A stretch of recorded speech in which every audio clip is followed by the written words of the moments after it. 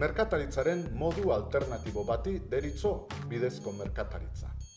Ekoizleen eta erosleen artean harreman komertzial bidezkoa eta borondatezkoa lortzea da bidezko merkataritzaren xedea. Ekimen hori gobernuzkanpoko erakundeek, nazio batuek eta mugimendu sozial eta politikoek bultzatzen dute.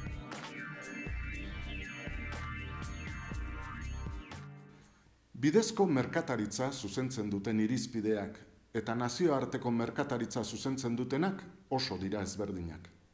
Esaterako, bidezko merkataritzan, ekai bati salneurria jartzerakoan, kontuan hartzen dira pertsonen bizi baldintzak. Horregatik, bidezko merkataritzak honako printzipio hauek defendatzen ditu. Ekoizleak borondatez eta demokratikoki sortutako kooperatiba eta erakundeen partaide izango dira. Bidezko merkataritza ez da asistentziazko laguntza bat. Bidezko merkataritzak administrazio gardena eta etekinen banaketa zuzena eskatzen ditu. Kooperatiba eta erakundeek aur esplotazioa baztertuko dute. Emakume eta gizonen arteko berdintasuna sustatuko dute. Giza eskubideak errespetatuko dituen lan duina ere bai.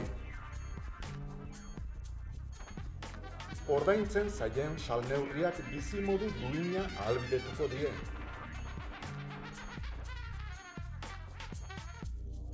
Erosleek alde zaurretik ordainduko dute ekoizleak sordun bilaka beharrean aurki ez daitezen.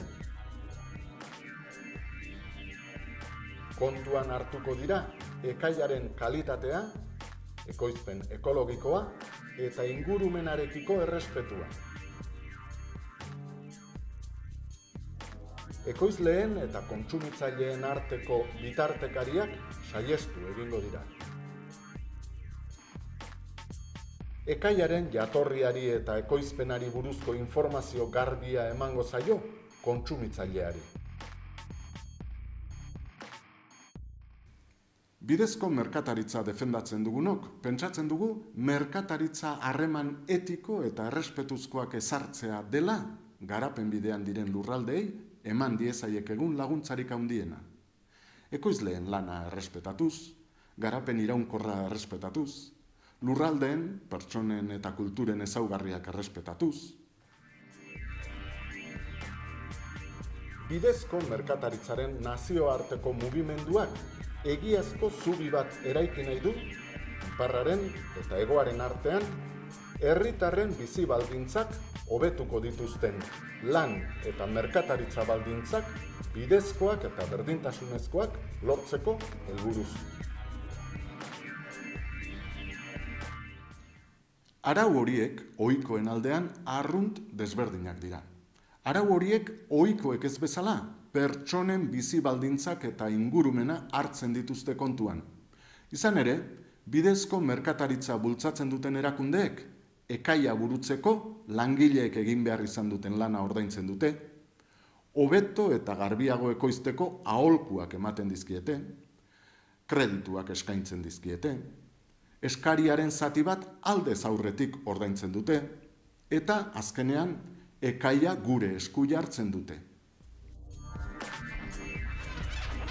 Horregatik guztiagatik esan dezakegu bidezko merkataritzaren helburuak honako hauek direla. Langileei ordainsari justua bermatzea, lantokiaren segurtasun eta garbitasun baldintzak hobetzea, emakumezkoentzat eta gizonezkoentzat aukera berdintasuna sustatzea, aurre eta gazteen eskubideak babestea, gutxiengo etnikoak babestea, eta ingurumena babestea. Bidezko merkataritzaren mundu erakundea, munduko kontinente guztietako erakundeek osatzen dute guztiek pixu berdina dute erakundean. Bidezko merkataritzako ekaien kalitatea identifikatzen duten berme zibiluek, merkataritza mota hau bultzatzeko eta ezagutzera emateko balio izan dute. Bidezko merkataritzan, elikagaiak, jantziak, artisauen gaiak eta horrelakoak aurki ditzakegu.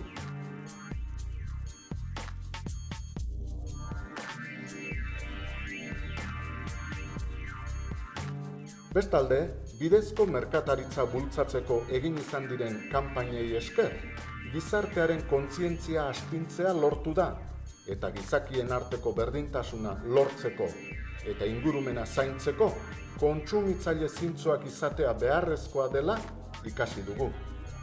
Horrela, eta ez bestela, lortuko dugu munduko biztanleen arteko harremanak zuzentzea.